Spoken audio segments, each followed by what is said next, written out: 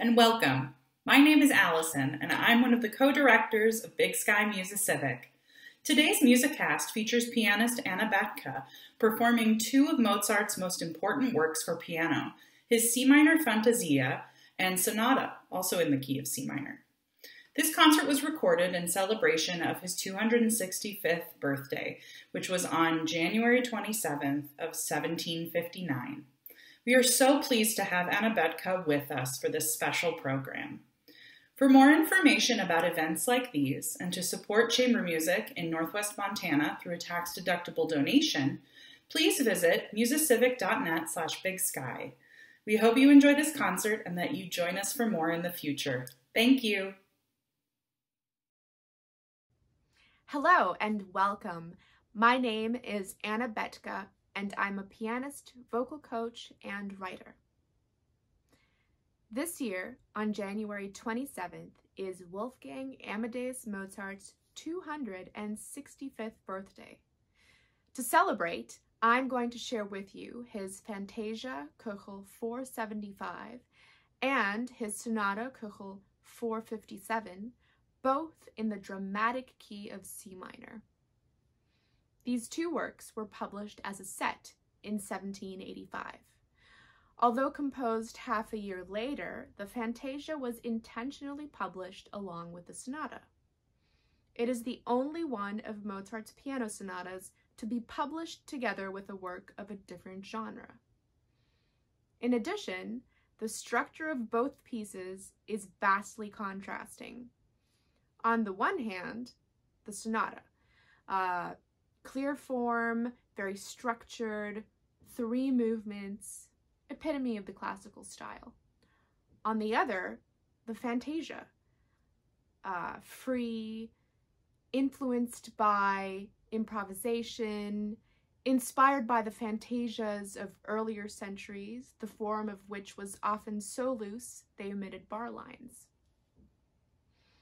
Having moved to Vienna in 1781, Mozart was having a tremendously prolific and busy year in 1785, both professionally and personally. In January, Mozart received news that his newest opera, Le Nozze di Figaro, had been banned from being performed in Vienna due to being censored by the emperor. Tells you a bit about the political climate of the time. In February, his father Leopold arrived at his son's apartment for a lengthy two and a half month visit, which I'm sure Mozart was thrilled about. Upon walking through the door, Leopold was greeted by copyists who were quickly preparing orchestra parts that would have to be sight read for a concert that same night. The following day, Haydn paid a visit to Mozart. No big deal and the two of them and Leopold read through some string quartets that Wolfgang wanted to dedicate to his admired peer.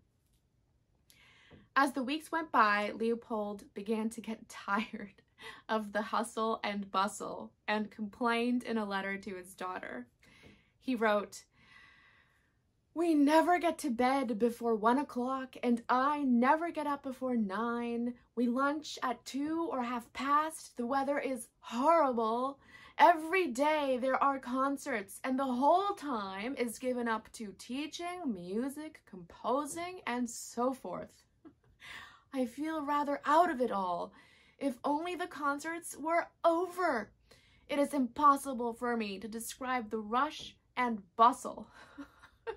Well, if only we could complain about having concerts every day, especially this past year. But just like Leopold, we too took live performance for granted before the COVID-19 pandemic. I am excited to share these beautiful works with you today as we continue to renew our sense of togetherness during this time. Music happens to be one way to do that. Stay well, stay safe, stay healthy, and hope you enjoy. Also, happy birthday, Mozart.